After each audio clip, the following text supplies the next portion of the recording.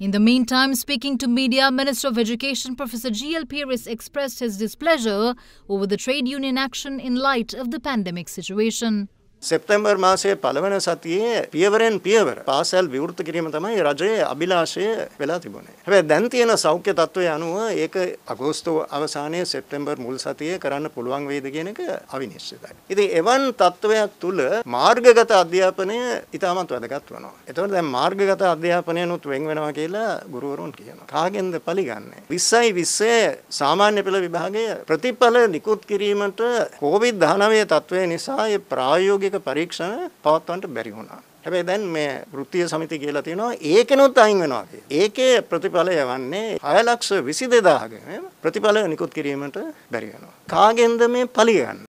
Glow and Handsome ඒ ඇති multivitamin සහ UV filters දෙගුණයකින් වැඩි දීප්තියක් ලබා දෙයි. මුණ ගැන හිතන්න. හිරු කිරණින් ආරක්ෂා කරගන්න.